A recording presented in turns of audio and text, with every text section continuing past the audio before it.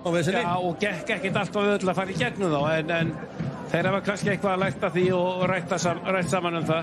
Hér sjáum Aron Jónsson í fyrirgjáfastöðu. Aron liftur hann vinna fyrir marki. Patrik Pedersen með skallan í stöngina og þetta er fyrsta marki.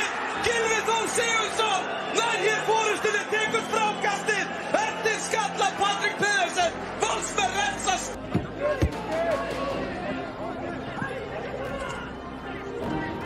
Hér vinna valsmenn boltan. Patrik og hér Bjarti Mark. Bjarti Mark tekur sér hann á tegin. Bjarti Mark fyrir og þetta er sjálfsmark. Þetta er sjálfsmark.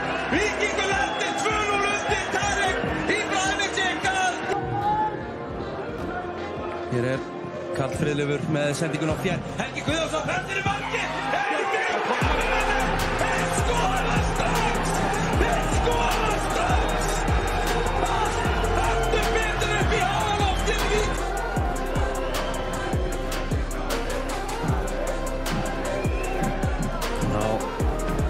Dejan Djuric.